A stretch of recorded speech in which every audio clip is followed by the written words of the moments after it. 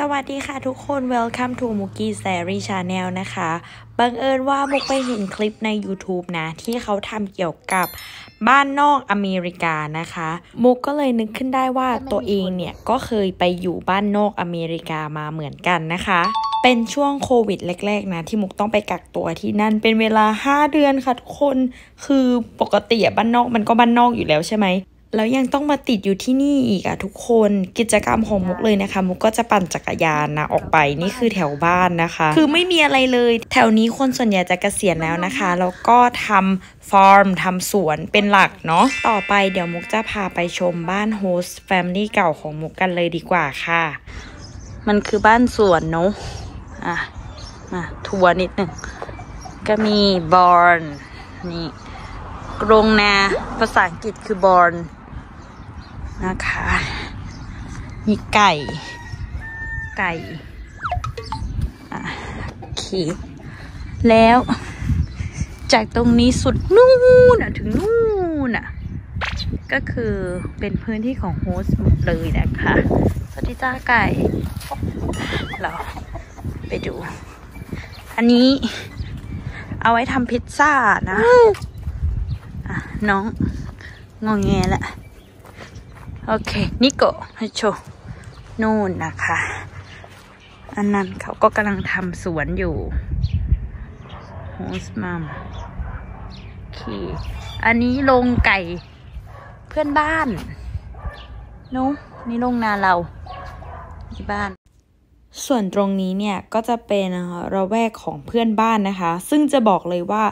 ไม่มีอะไรเลยค่ะ เซเว่นอีเลฟเว่นที่ใกล้ที่สุดก็ไม่มีนะคะ มีเป็นร้านขายของชำที่เป็น local นะคะ อยากจะบอกว่าแค่อยากจะกินกาแฟสักแก้วอะ่ะ ก็คือต้องขับรถออกไป 40 นาทีอย่างน้อยนะคะ แล้วหน้าหนาวเนี่ยหนาวมาก หนาวชนิดที่ว่าไม่มีอะไรให้ทำกันเลยทีเดียวค่ะ ยังดีหน่อยนะที่ตอนที่มุกติดอยู่ที่นั่นเนี่ยมันเป็นหน้าร้อนนะคะ ตรงแถวแถวนี้เนี่ย เนื่องจากมันเป็นป่าเขาลำเนาไพรเนาะ มันก็จะมี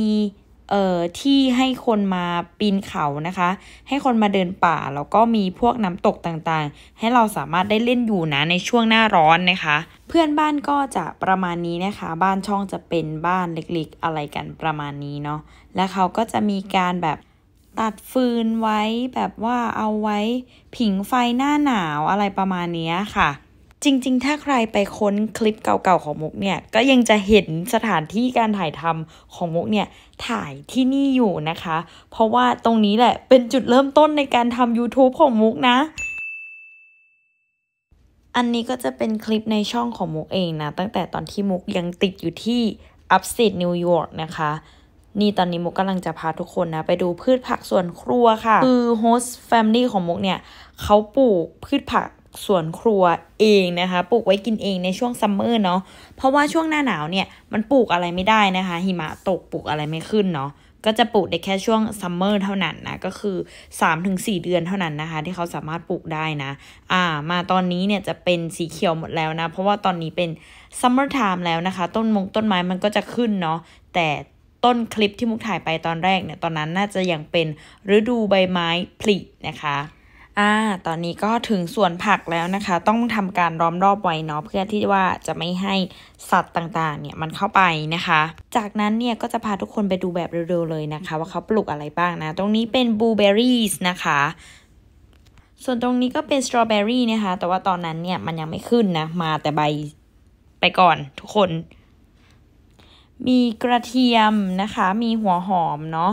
แล้วก็รวมไปถึงมีใบกระเพราด้วยค่ะ แต่ว่าเป็นใบกระเพราฝรั่งนะคะตรงนี้เป็นมะเขือเทศนะคะ ช่วงนี้เนี่ยเขาเพิ่งเริ่มปลูกเนาะมันก็เลยยังไม่มีอะไรขึ้นมากนะคะ ช่วงนั้นนี่มุกมีโปรเจกต์เลยนะ มุกก็ได้ทำการปลูกใบไทยเบซิลนะคะ แต่ทุกคนรู้ไหมว่าพอมันออกดอกออกผลมาแล้ว มันคือใบแมงลักค่ะทุกคน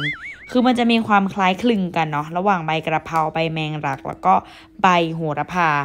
แต่คือถ้าจะเอาใบแบงลักมาผัดกระเพรามันบ่ได้อย่าทุกคน อันนี้ได้ละ ผักชีที่โฮสปลูกไว้นะคะ ให้ออแพกินได้แล้วนะคะ มุกจะเอาไปใส่มาม่าเนาะอะมาต่อมาถัดมามาดู ตรงนี้เป็นร้านขายของชำนะคะ ที่เดียวที่มีอยู่นะตอนนั้นนะ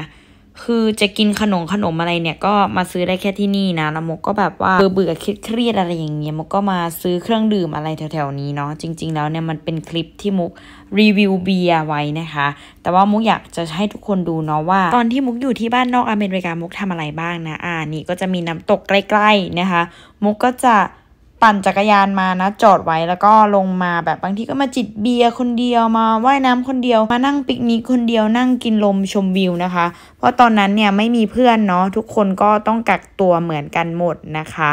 เอาละค่ะทุกคนบ้านนอกอเมริกาที่มุกเคยอยู่มา ก็จะเป็นประมาณนี้นะคะ ทุกคนหวังว่าทุกคนจะ enjoy กับคลิปสั้น ๆ คลิปนี้ไว้เจอกันใหม่คลิปหน้าค่ะบ๊ายบายย